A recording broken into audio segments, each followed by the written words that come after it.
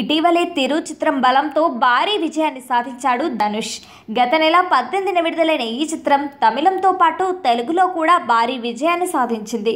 Dhanush కెరీర్లోనే biggest గ్రాసర్గా తిరుగు movie నిలిచింది. ప్రస్తుతం ధనుష్ రెండు సినిమాలను సెట్స్ పైన ఉంచాడు.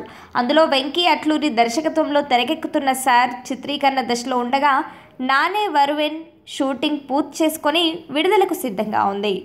నానే వరువన్ చిత్రానికి సెల్వరాఘవన్ దర్శకత్వం వహించాడు. ఇప్పటికే చిత్రం నుండి విడుదలైన పోస్టర్లు సినిమాపై మంచి బజ్ క్రియేట్ చేశాయి. ఈ చిత్రం సెప్టెంబర్ ముప్పైన విడుదల కానుంది. ఈ క్రమంలో మేకర్స్ వరుస అప్డేట్లను ప్రకటిస్తూ సినిమాపై క్యూరియాసిటీని పెంచుతున్నారు. లేటెస్ట్గా మేకర్స్ మరో అప్డేట్ను ప్రకటించారు. ఈ చిత్రంలోని ఫస్ట్ సింగిల్ను బుధవారం సాయంత్రం నాలుగు నలభై నిమిషాలకు విడుదల చేయనున్నట్లు మేకర్స్ ప్రకటించారు. అంతేకాకుండా ఓ పోస్టర్ని కూడా విడుదల చేశారు.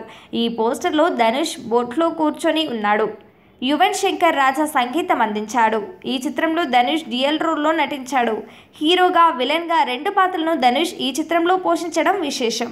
సెల్వరాఘవన్ నటించి దర్శకత్వం వహించిన ఈ చిత్రాన్ని వి క్రియేషన్స్ పతాకంపై కలైపులి ఎస్ తాన్ నిర్మించాడు. తనుష్కు జోడీగా ఎల్ఎన్ అవ్రమ్ హీరోయిన్గా నటించింది.